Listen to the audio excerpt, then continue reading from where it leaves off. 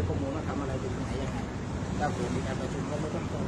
อย่างโน้นอย่างนี้อะไรก็ไม่ตรงข้อมูลบางคนเวลาข้อมูลไม่ครบเป็นตัดสินใจลำบากอ๋อก็ไปซักซักใช้อะไรอะไรต่างวันนี้ไปเลยแล้วถ้าพรุ่งนี้คุยกับสสเสร็จแล้วถ้าจะเรียกประชุมร่วมก็คือๆขก็อทันเพราะว่านี่เลก็ยสแตนบายอยู่แล้วอ๋อนี่ก็มานอนอยู่แถวนี้อยู่แล้วเนี่ยอยู่แถวนี้ไปพักแถวนี้เรียกมาก็ชั่วโมงนึงก็ก็ถ้าบอกว่าพรุ่งนี้พอคุยกับสสเสร็จแล้วจะขอ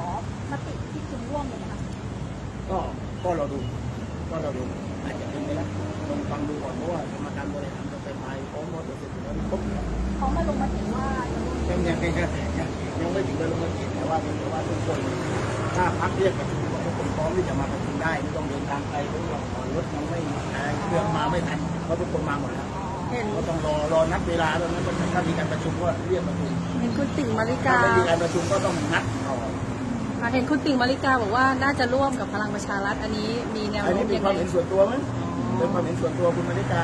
เดี๋ยวต้องรอมไม่เป็ตินยังไม่เป็นความเห็นที่ประชุม เพราะฉะนั้นต้องรอพรุ่งนี้รออีกวันเดียว ค่ะ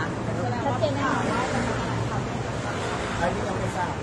ก็ต้องฟังกันก่อนครับเขาก็คิดเขาก็นั่งนั่งลองดูลองคุยลองอะไรกันแต่ผมคิดอย่างไรก็ต้องคงรอฟังพรุ่งนี้ครับผมคิดว่าน่าจะ ขอบคุณค่ะ